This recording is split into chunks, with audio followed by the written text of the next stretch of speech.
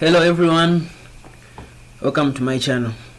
So many of you buy second-hand laptops with windows already installed but you wonder how you could change the computer's name from the old owner's name to the current one. So by this i'm gonna show you how you're gonna change the name into your own. So we shall go to for those who who are using windows 10 currently we are going to go to settings. System. And we shall go in about. So by this we are going to click rename this PC by this it will change the device name that appears when your computer is booting until you will go into the system by restart.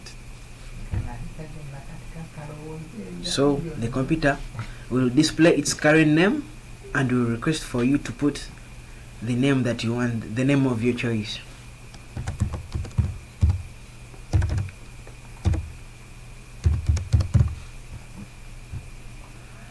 So as I've told you the computer will demand for a restart to apply the settings. So thank you guys for viewing my video